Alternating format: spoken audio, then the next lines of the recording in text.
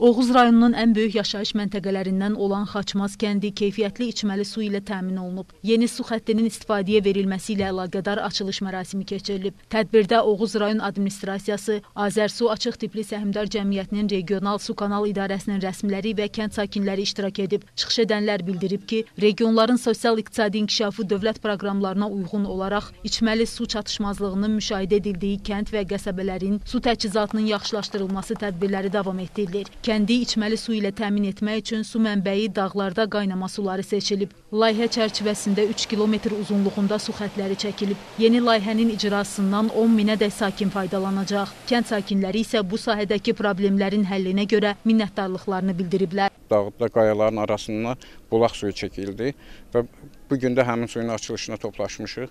Biz bu iş görən təşkilatçılarına, bu işin təşəbbüskarlarına və dövlətimizə dərindən minnətdarlığımızı bildiririk, təşəkkür edirik.